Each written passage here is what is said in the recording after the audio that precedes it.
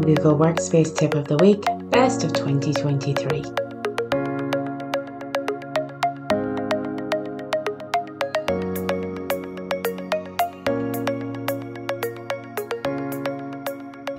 One of my favourite things to do here at Damson Cloud is coming up with our weekly tips for our Tip of the Week email service. Google has a ton of little aha moment functions that are too small to introduce in a face to face training session, but are really, really useful for our users. Clients who sign up to our Tip of the Week service get 52 of these tips throughout the year. Each tip takes two minutes to read and one minute to action, and it introduces your users to underused existing functions or new functionality coming on stream. Users can then curate their own library of just-in-time learning resources that they can refer back to when they come across a requirement for a function in their day-to-day -day of their doing their job. Also, isn't it nice to get an email from the IT team that's not about changing your password or watching out for phishing links? Today, let's look at our top five tip of the week tips from 2023. Tip one, get your tabs under control. I love to meet a tab hoarder. You know, that colleague whose browser window has hundreds of tiny tabs across the top. For some, it's creative chaos and they know where everything is, but for others, it is a pain point constantly in search of the correct tab.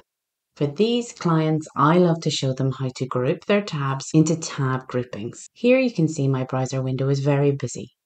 Start by selecting a tab and right clicking. From the right click menu, select Add tab to new group. Add a name for your tab grouping and choose a colour if appropriate. Now you can drag and drop tabs into the group and you can see the color of the tab group becomes associated with each tab as it is added. You can create lots of tab groups, allowing you to sort your tabs by task, by subject, perhaps even by project. Clicking the tab group name will hide or reveal the tabs grouped within it. Right click the group name to see the options for that group. And a handy feature in here is the Save Group slider.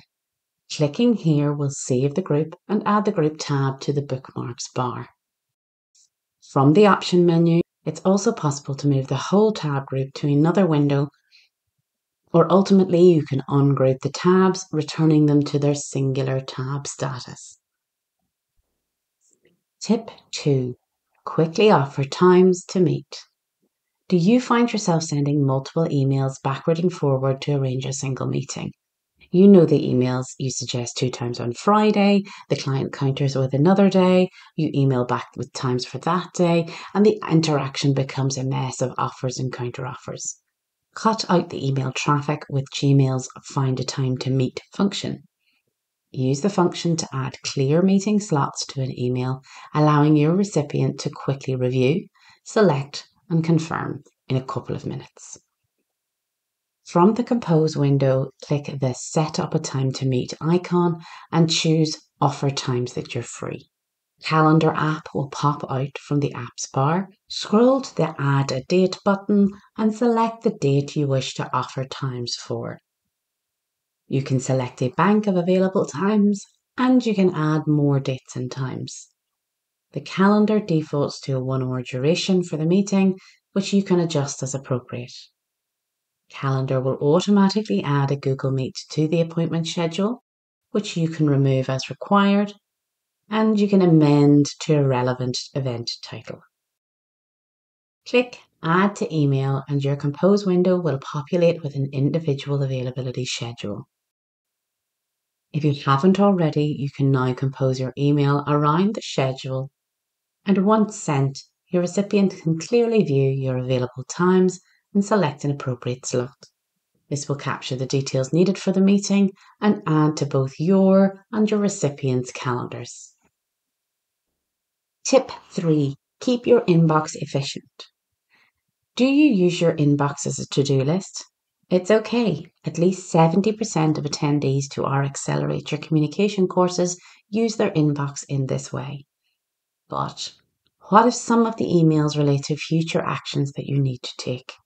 It would be great if you could get them out of the inbox and have them return when you actually need them. Well, the snooze function can help you with just that. Here we can see a travel itinerary for later in the year. From the hover menu, click the snooze icon. Gmail offers a number of default options. However, we have a specific date and time in mind, so we're going to choose the select date and time option. Now it's possible to click through the mini calendar, select a date and add a time. Click save and the email will disappear from the inbox, returning at the later date and time you selected. Once you have snoozed an email, it's possible to view any snoozed emails from the snoozed label. Here the emails are visible and from the hover menu the snooze option is still available. Upon clicking the snooze icon, it's possible to see that unsnooze has appeared. Clicking this will return the email to the inbox. Tip 4. Speed up your data entry. This tip is a function close to my heart. If you are reliant on a multitude of team members inputting data into your spreadsheet, you will understand the frustration of having cell contents misspelt or additional formats added which mess up your formula. Perhaps even you work in spreadsheets with a small pool of repeated data and many entry rows, and you would really like a way to quickly add data whilst controlling for human error.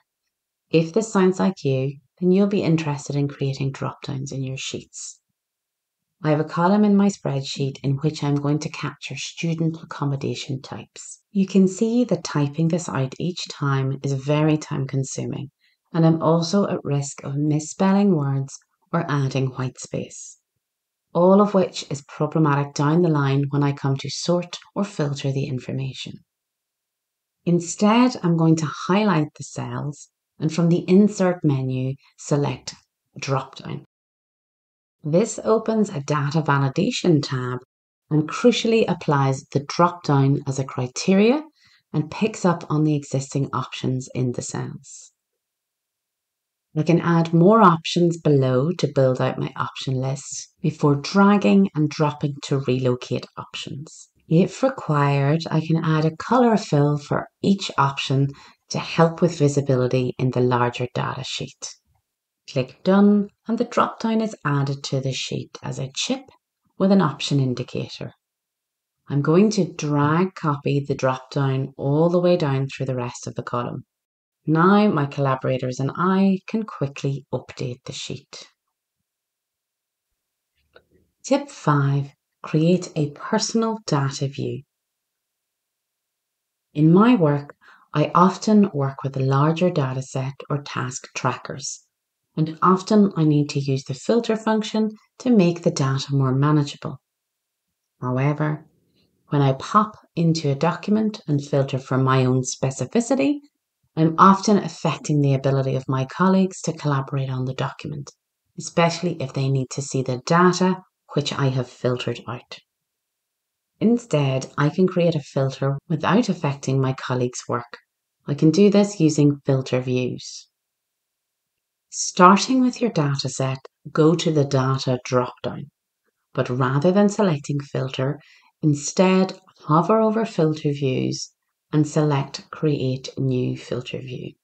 You will now see a dark frame around your data indicating that the filter view is on and that you are creating a personalized filter of the data. Firstly, give your filter a name. This will be useful for finding your filter again. Now, from the filter chevron at the top of the column, create your filter as usual. Once you have completed your work, you can turn off the filter or you can simply leave it on as the filter is only visible to you. To re-access a filter, access the data drop-down, hover over filter views and select your filter from the list. So there you go. That's our top tip of the week tips from 2023. Let's take a look at what we looked at. We're using tab groupings to manage our tabs using the find a time function to set meetings, snoozing emails to keep your inbox under control, using drop down chips to speed up data entry, and using filter view to filter data without affecting others. If you're interested in getting tips like these directly into your users' inboxes, why not contact us today and talk about signing up for the Tip of the Week service? And until next week, see you then.